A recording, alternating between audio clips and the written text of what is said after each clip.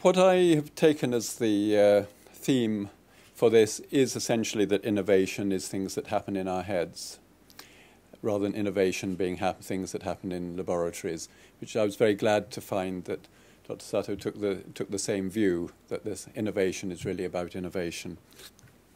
What I'm going to be talking about is, first of all, looking a little bit at strengths and weaknesses in Irish healthcare and what needs to change and coping with the crisis. And I'm sorry I've said don't waste a good recession because that's already been said earlier, but I'm going to say it again and several times. And talk a little bit about access and entitlement and the failures in the boom times and the partial successes in the recession. And uh, looking at pr the problem of reform and the problem of change. And I will be perhaps coming to, for some of you to the slightly strange conclusion that we've got to be very careful not to do too much changing and uh, finally looking at sort of a solid basis for trying to improve access and effectiveness. So, uh, what are the strengths of the Irish health system as it stands at the moment? Well, access is reasonably good for acute uh, problems. Um, there's a reasonable safety net for people on very low incomes uh, for access to primary care and pretty good access to secondary care for people on low incomes as well.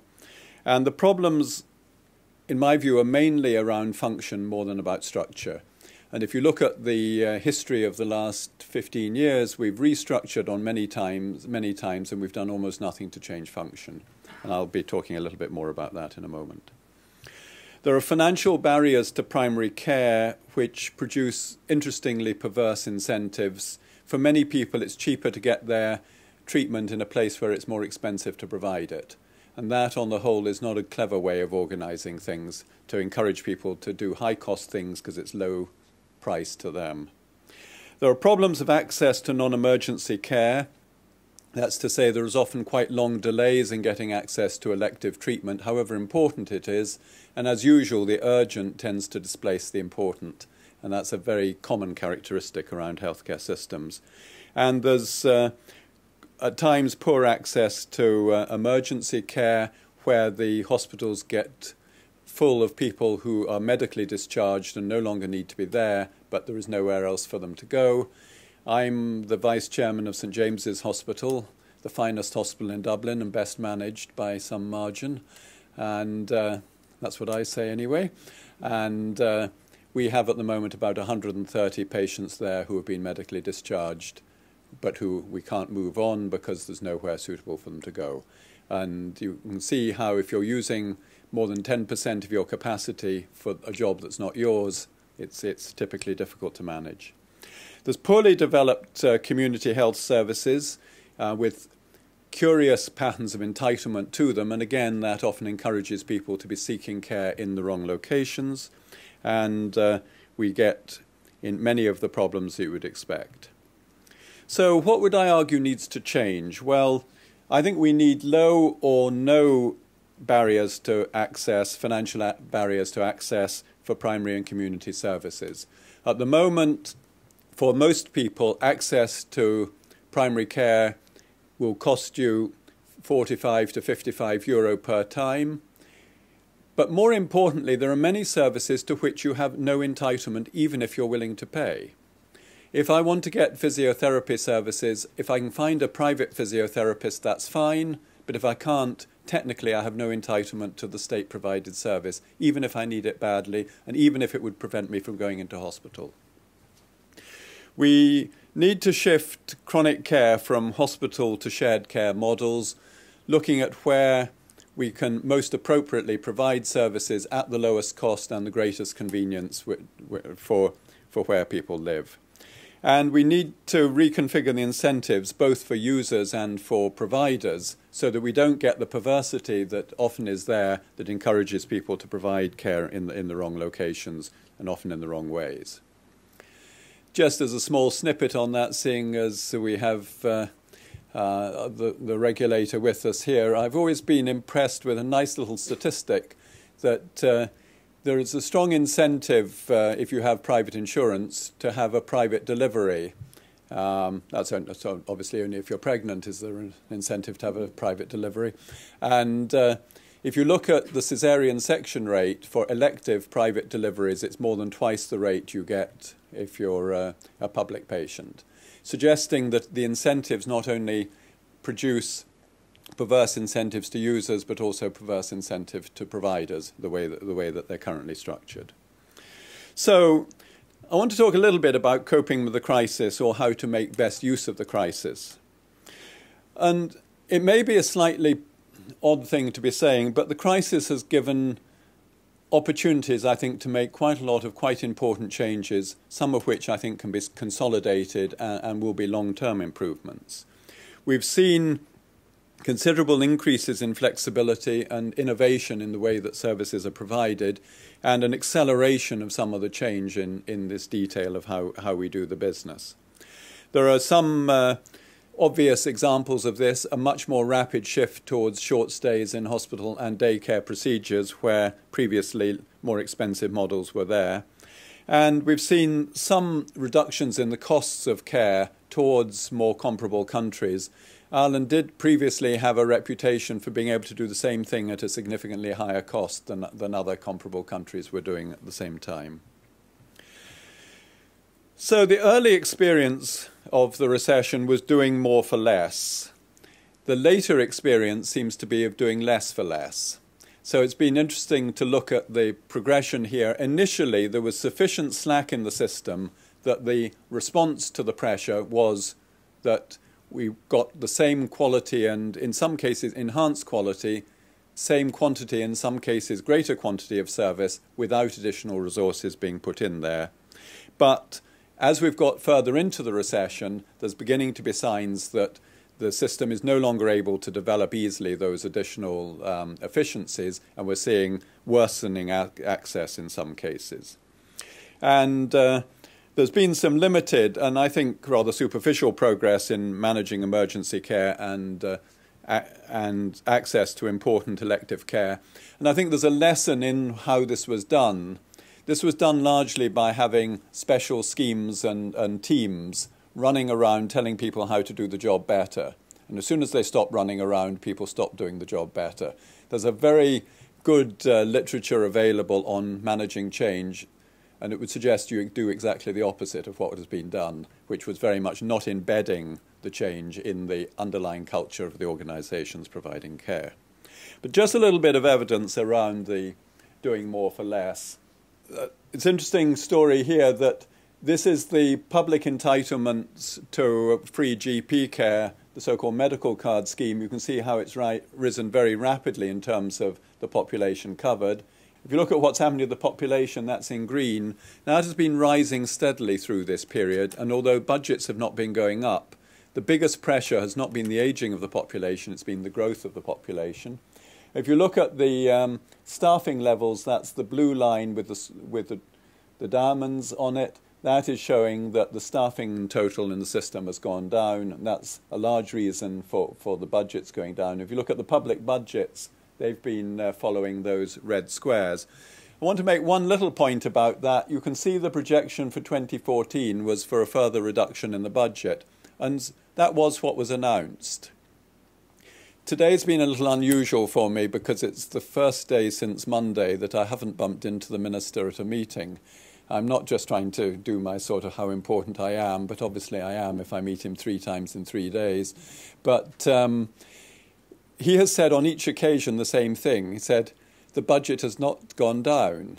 Sorry, the funding has not gone down. The budget's gone down, but the funding hasn't because they've overspent the budget by the amount that it was meant to be reduced. And uh, he was almost proudly saying, Look, we haven't cut the budget. We've tried to, but we failed. And uh, it's quite interesting sort of take on this. They've been the good guys because they've failed to do the bad things that they wanted to do. But um, what you've seen there is the budget being initially reduced and then stabilized in terms of the actual expenditure with significant increased pressures, as you can see from the, from the other parts of that. And uh, in terms of uh, cases and how we do the business, you can see day cases have risen really very dramatically over this period. And uh, in general, inpatient activity has stayed pretty stable, and uh, emergency uh, admissions have gone up. So there's been a lot of pressure in the system, and there's been some increase in, in volume and, and, and, quantities of care uh, at the same time as the, the resources being, being very fixed. And if you want to know, are we killing people any more than we used to? No, we're killing them quite a lot less. People are living longer. Um, there's been a long term trend in improved death rates, but that has been largely maintained, although there may be some slight evidence that in, in the last couple of years things have begun to, to, to become less satisfactory there. But I think there is a nice story here, and this is uh, since the development of a much more serious cancer program, and this again is not new bits of equipment, it's new, not new ideas on how to treat cancers. This is better organization of care in a focused way to try and improve cancer care you can see that there has been a very significant improvement in, in cancer survival over this period, and that has been maintained. And I put in specifically the, uh, uh, the National Cancer Control Program came in in 2007, and uh, unfortunately, the um, slightly complicated to read it on that chart, but you can see that there's been a major improvement in cancer outcomes, and it seems to be associated with better organization of care, using the same techniques and technology, but doing the job in a more organized and effective way. So, a little bit about access and entitlement. Well, in the boom years, we had every opportunity to sort out historical problems in entitlements and, and how we organize access to care, and nothing happened, or almost nothing happened. Since then, there's been uh, there was a huge increase in the public health budget, but despite that, there was very little improvement in in the uh, entitlements that people had, and indeed, people over 70 were given for a brief period um, free access to primary care, and then that entitlement was removed in, in the early times of the recession. But it's about to be given back in a slightly different form. Um, because it saved almost no money, it caused a whole lot of additional administration, and it made the whole system more incoherent than it would otherwise have been. But we've seen numbers getting free access to care rapidly rising, and I think this is particularly important because it's much easier to do further improvements in access if you've already got a higher proportion already covered. And I think that's one reason why we're seeing plans for people under six and people over 70 all to get free access to GP care coming through in, within the next couple of years. And that's, I say, is a little bit easier to achieve because we're already much further up the curve. But and the background in all of this, and I think this is, there's a huge warning here, there's been over the last 15 years a total addiction to reform. Every time there's a problem, we must reform the system. And people have become complete reform junkies. You cannot imagine sitting there and saying, let's try and make this system better. You have to say, let's reorganize the system and make it different. And there's very little understanding of the costs and the loss of efficiency caused by this kind of change. There's quite a good body of evidence, and I've only written about uh, half of the papers that are responsible for this. No, about, perhaps it's a quarter. Um, there's a good body of evidence that uh, major change takes three to five years to recover from. So if you have a major change every five years, you can guarantee you will never get improvement in the service because you're constantly recovering from the previous change. Any of us who have worked in the delivery of care, indeed anyone who's worked in a university, knows every time they reorganize it, it takes th- three to five years to get over that reorganization and get the new structures to work properly. And uh, there's good evidence that serious improvement requires a period of stability if we're to hope to improve access to care. So, what would I see as a sort of solid basis for improving access and, and effectiveness? Well, we've shown we can make the system become uh, more efficient by small and painstaking and careful improvements in, in, in the way that we organize ourselves and the way we do our business. But uh, there are some particular directions we need to move in. One of them is recognizing that overwhelmingly the work of the healthcare system is managing chronic disease. And uh, probably around 65 to 80%, depending on how you calculate it, of healthcare activity is for pre existing chronic problems that people are having managed rather than cured. We still have in our heads the notion that we have an episodic problem where somebody comes with a problem, you solve it and send them away. If someone has a continuing problem and you keep sending them away, they keep coming back. It's not a very complicated problem to understand. It's a much more complicated problem to work out what you do about it. But we really need to make much more rapid strides to organize the delivery of care in ways that recognize this continuing, persistent, chronic nature. On the other hand, if we do that, we may well be able to provide a lot of the services at very substantially lower cost than we do at the moment, thereby being able to accommodate some of the population growth that we've just been, uh, been described at, which is going to be hitting Ireland later than it hits Japan, but it'll be hitting just as hard when it comes round because the population is aging very rapidly here, albeit from a very low base. And there are one or two things I think that are quite interesting to look at in this context. For example, the men are catching up. Men are now living longer more than women are living longer. Women's life expectancy in, in this part of the world is increasing only at about uh, 0.7, 0.8 years per decade, while men's is increasing by about 1.4, 1.5 years per decade. So every decade we're catching up by nearly a year in life expectancy, which is great news for all of us, not only for men, but also for women, because the proportion of single person households is now beginning to decline. Even though the absolute numbers is high and is rising, the proportion is declining. We've got good evidence that shows that as the proportion of two person or more households increases, then uh, the healthcare costs rise at a slower rate. And when you think about it, it's not surprising because a household needs one brain and one body. It can be in the same person or it can be spread between the two. But if you one of each of those things, you can survive reasonably well. As soon as you take away one or other of those capacities, then the system breaks down and you find people requiring institutional care. So I think we can be optimistic that with a combination of better management of the problems that are coming up and some relief that is coming from the uh, changing demography being useful as well as the changing demography being a challenge, we may well be able to cope quite well with, with some of the uh, challenges that come. So, a few concluding thoughts. We think of innovation often as techniques and materials, but I think innovation is more than anything else about ideas and process. It's about just getting into your heads you can do things better if you're given a bit of a chance to organize yourselves in better ways. The stress on the system, I think, has done some good and has removed some pointless constraints, but too much stress cannot be coped with without harm. And when we look at how much do you push the system, the answer is quite a lot, but not too much.